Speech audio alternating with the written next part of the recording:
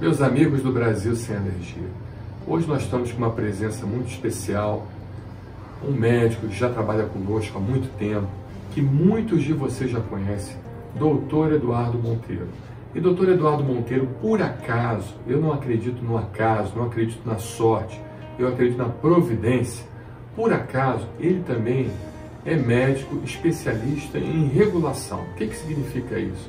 Sabe aquele paciente quando passa mal na rua e você liga para o médico no teleatendimento e fala com, com aquele médico do teleatendimento, falando o quadro clínico do paciente, como ele está e assim por diante? Ou seja, esse é o médico da regulação, ou seja, o médico perfeito para o teleatendimento. Então, nós colocamos o doutor Eduardo como nosso coordenador no teleatendimento. Nesses momentos de crise, no momento de guerra que nós estamos passando, doutor Eduardo hoje é nosso coordenador no teleatendimento devido aos anos de experiência que ele tem. Né, Eduardo? Então, eu gostaria que você conversasse um pouquinho aqui com, com o nosso público e explicasse qual, é, qual foi a sua experiência no teleatendimento e como você está nos ajudando hoje. Boa tarde, Marcelo. Boa tarde a todos.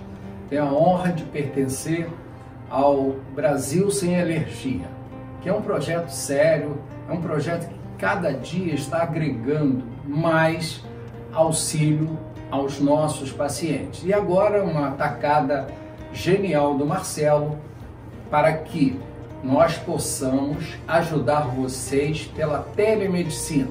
Vocês estão em casa, ligam para a gente nós vamos avaliar o quadro clínico de vocês se é para ser medicado pelo telefone, se é o caso de aguardar em casa ou se é o caso de ir para um pronto atendimento. Por é quê? Né?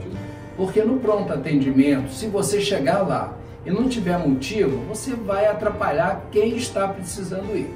Então, o Brasil Sem Alergia hoje vem com essa nova modalidade e vai trazer a vocês tirar aquela dúvida que você talvez perguntasse a um vizinho, ficasse no ar. Não. Nesse momento, liga para a gente e nós teremos o máximo prazer em auxiliá-los. É verdade, né, Eduardo? E lembrando que nós estamos fazendo isso em caráter de excepcionalidade, né? Porque foi aprovado pelo Conselho Federal de Medicina essa modalidade de atendimento para que realmente as clínicas não fiquem superlotadas e que não aumentem os casos de coronavírus devido à transmissão da própria clínica nos hospitais.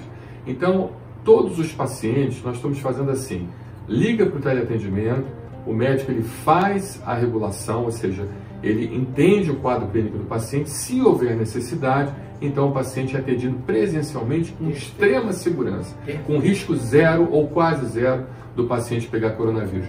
E é muito importante, doutor Eduardo, o doutor Eduardo foi médico do SAMU, ele trabalhava na baia do SAMU, ele fazia aquela regulação importantíssima.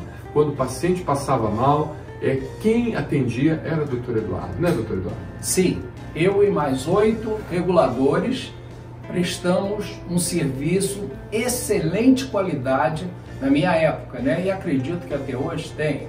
Mas com isso nós desafogamos as emergências ou por outra.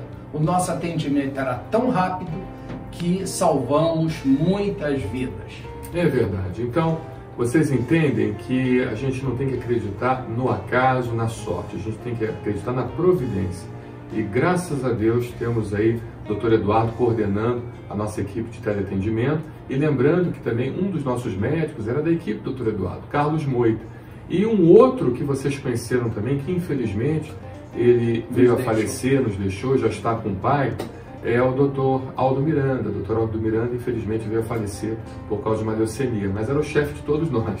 Né? Ou seja, o Dr. Aldo, ele era que comandava todo mundo, foi um grande professor nessa área de regulação, nessa área de teleatendimento.